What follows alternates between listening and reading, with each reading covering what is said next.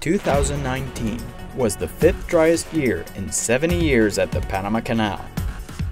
Due to changing rainfall patterns and historic low water levels at Gatun Lake, and despite the use of extensive water conservation measures, this past year's rainfall was 20% below the historical average. It follows several years of lower than average rainfall coupled by a 10% increase in water evaporation levels due to a 0.5 to 1.5 degrees Celsius rise in temperature.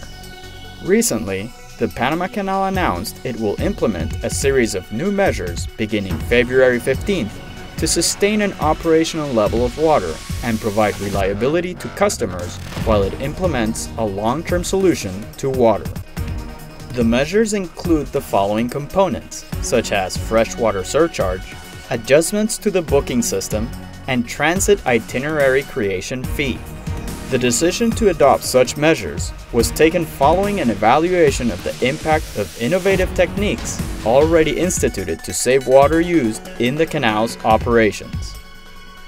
For example, the Panama Canal has been implementing cross-filling lockages.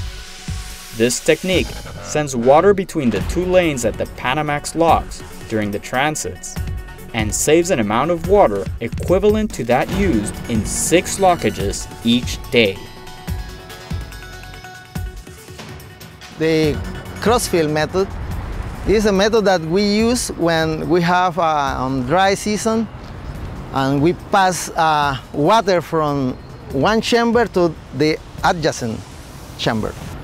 And every step in the, in the lock, we uh, prepare the levels to admit this amount of water that then ha have a, a, result of the half use of water for each lock, lockage.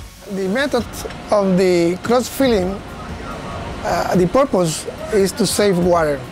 Uh, normally we use uh, about uh, 20, 27 feet of uh, feet of water in each chamber.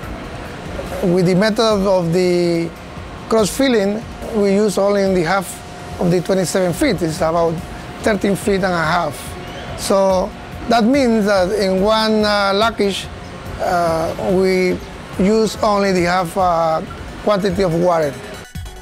Other ongoing water-saving measures adopted at the Panama Canal include suspension of power generation at the Gatun hydraulic plant, elimination of hydraulic assistance at the Panamax locks, tandem lockages, which involve two ships transiting at the same time when vessel size allows.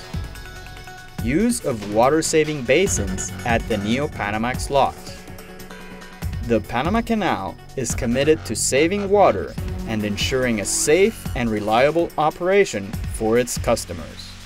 Okay, the Panama Canal personnel, all of, the, all of those personnel are really committed uh, with the water conservation uh, all of us, uh, not, not only operation, is all of us, the Panama Canal personnel, know that the water is very important for us. The Panama Canal will expand its investment program to include projects focused on addressing the sustainability of the water supply.